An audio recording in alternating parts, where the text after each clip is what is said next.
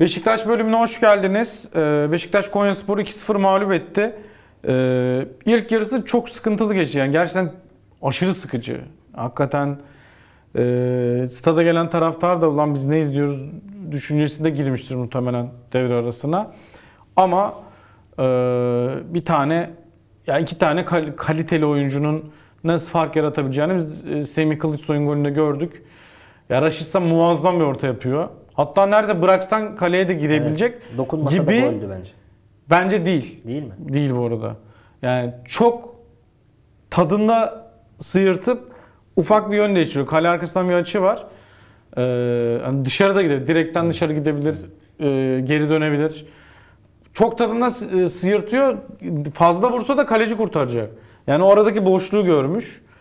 Ee, Semih hakikaten gol güdüsü çok e, güçlü ve aynı zamanda ya çok da kuvvetli bir oyuncu yani sahada ya hakikaten çok garip ya Türk futbolunda hiç böyle bir şey görmedim yani.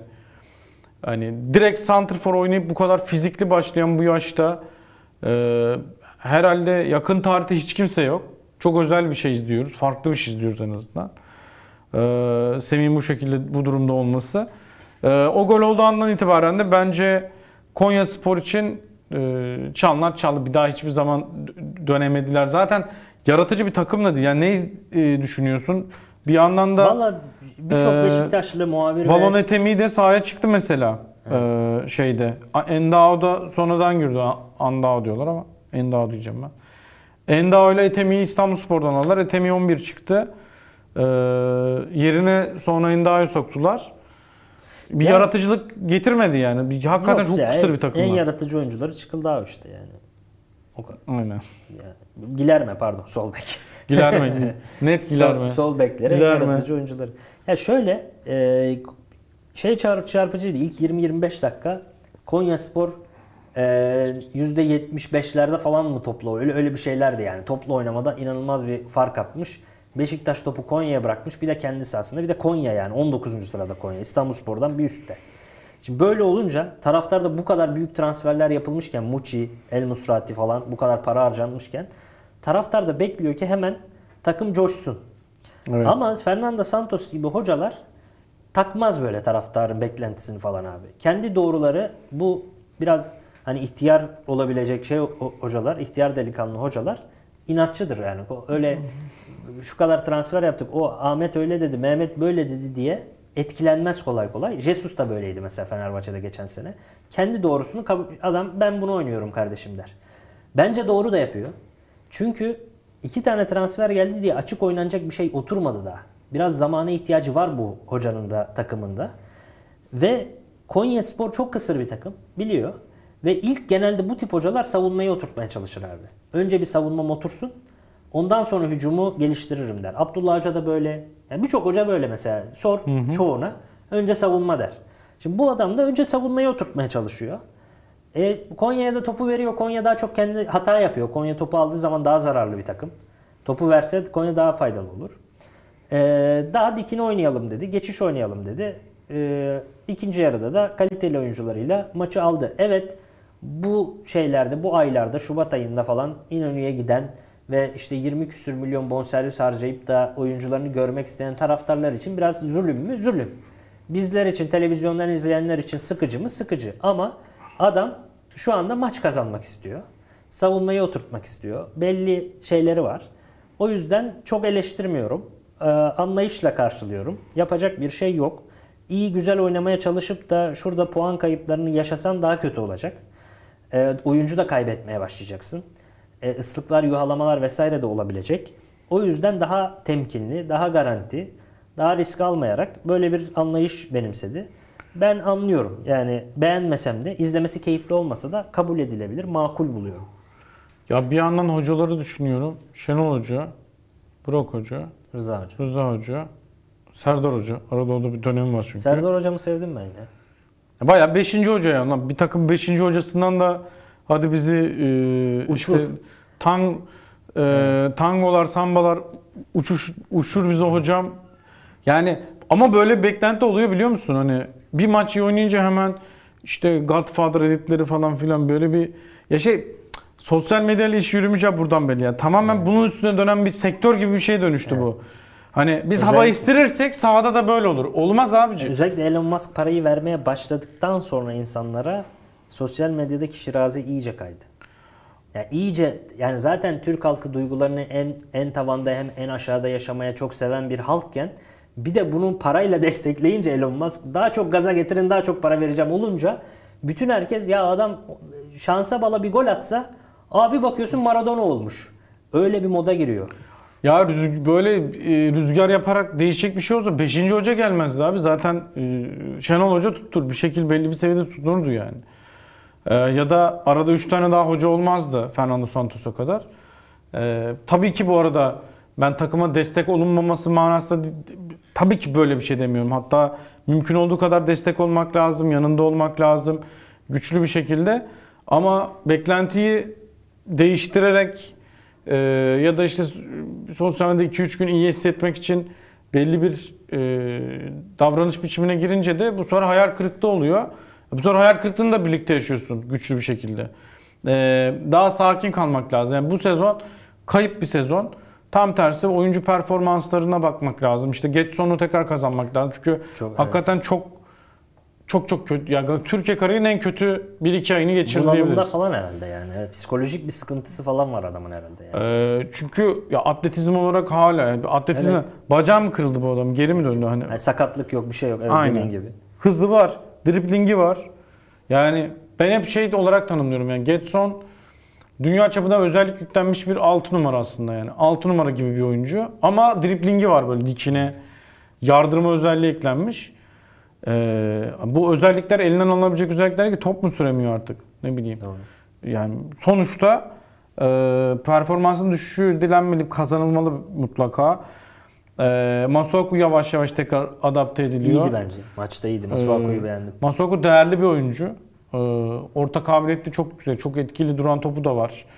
Serbest vuruşu da var. Onun dahil olması biraz şey de oluyor hani nasıl diyeyim e, Beşiktaş'ta kanatlardan üretim gelmiyor deniyor ya. E, özellikle işte bir sihirbaz yani Raşitsa işini çok iyi her şeyi el- iyi seviyede yapan bir oyuncu. Ama ters kanattan bir şey gelmeyince yetersiz kalabiliyor. E, ters kanattan gelecek şey bir sol açık değil belki de Masuaku olmalı. Hani bek, bekin hücum kabiliyetiyle dengeleyebilirsin. Onu da sağlayabilir. Hani kanatlardan üretimi de arttırabilecek bir oyuncu. Çok ihtiyaç var bence. Ee, Muçi de deniyor. 7 tane şut atmış bu arada. Bir maçta 7 şut denemek çok kolay bir şey değil yani. İstediğin kadar hücum oyuncusu ol. Ee, onun da yavaş yavaş e, katkı vereceğini düşünüyorum. Onun için ayrı ayrı bir gözle de izlemeye çalışıyorum. Sen ne düşünüyorsun Muçi için? İyi gidiyor. Ee, ama kolay değil yani genç bir 10 numara için. 10 numaralarda deneyim bütün pozisyonu bir stoperlerde deneyim çok önemli. Kalecilerde çok önemli. Yüzde yüz. Bir de 10 numaralarda çok önemli. Çünkü sen dokunduğun insan sayısı çok fazla. Yani sen 10 numaralık şey gibi biraz. Ee, kuklayı yönetmek gibi. Sağ kanadı da, sol kanadı da, forveti de, arkandakileri de hep sen yönetiyorsun. Beyinsin yani ve çok şey bilmen gerekiyor saha içerisinde. Takımı da çok iyi bilmen, oyunu da çok iyi bilmen gerekiyor. E biraz fiziksel özellikleri falan gayet iyi, hızımızı.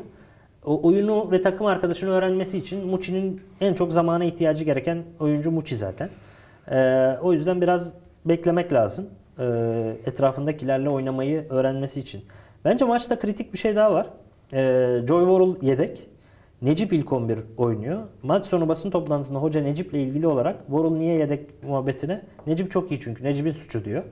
Ee, kendini çok adı, adı, adıyor ve müthiş bir çalışkanlık sergiliyor diyor. Necip'in bu maça ilk 11 başlayıp Joy Worrell'ı yedek oturtmasıyla Emirhan Delibaş'ın sözleşmesinin feshedilmesi aynı sebepten kaynaklanıyor. Beşiktaş'ta son yıllarda takıma karşı bir aidiyet ve formanın değerini bilme konusunda bir erozyon yaşandı. Abu Bakar'la başlandı. Abu Bakar'ın tekrar affedilmesi. Abu Bakar bir önceki şampiyonluk döneminde gitti, geldi vesaire.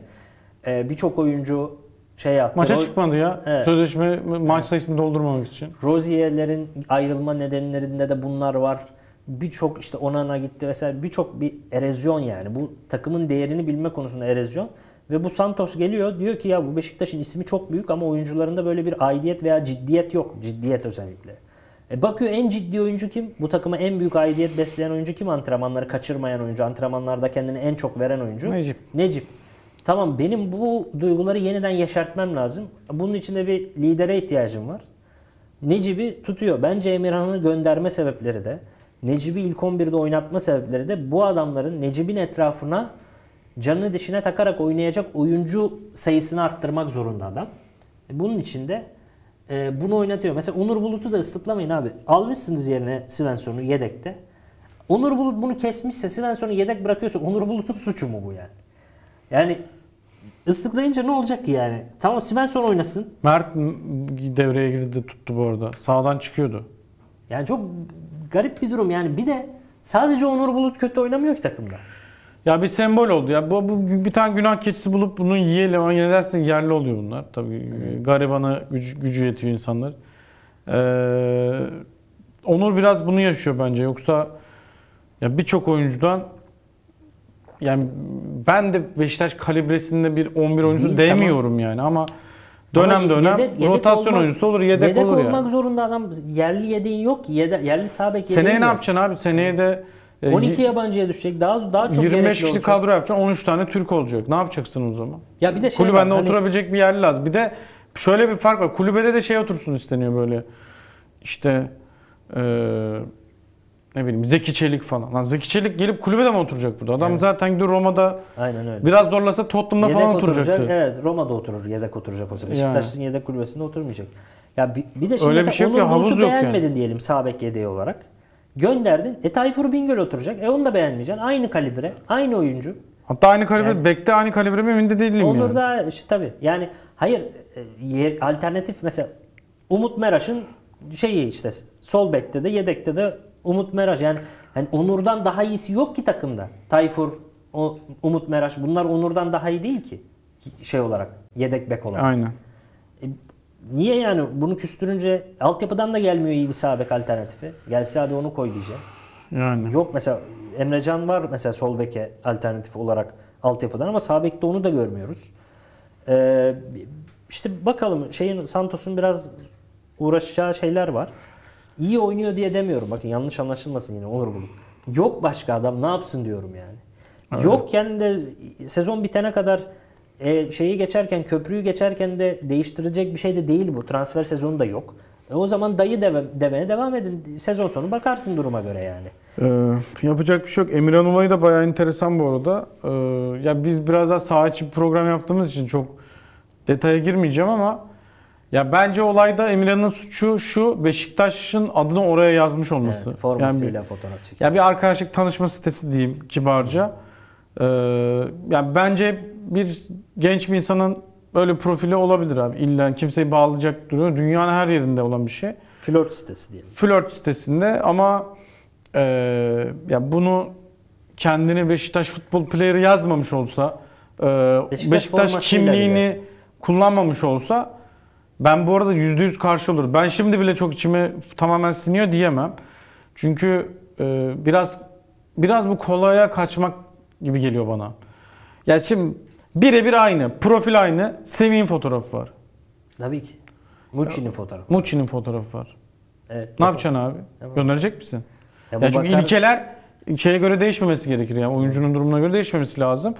Ee, gönderebileceğim bir oyuncu olduğu için. Ha Emirhan'ın e, kabahati bence profilden ziyade ki Beşiktaş yazmaması gerekir %100. Onun e, o kısımdaki hatası o ama esas hatası kendisini vermemek. Beşiktaş'ın kıymetini bileceksin. Beşiktaş treni bir kere gelir. Bir şey diyeceğim. Ee, Semih Kılıçsoy çıkış yapınca biz benim kendi YouTube kanalım sağ içinde Semih Sezerli var. O dönem Beşiktaş alt yapı Hı hı. hocası. Onunla bir röportaj Program yaptı programa arkadaşlar. çıkmıştım ben A-Spor dönemi Semih'le. Ha.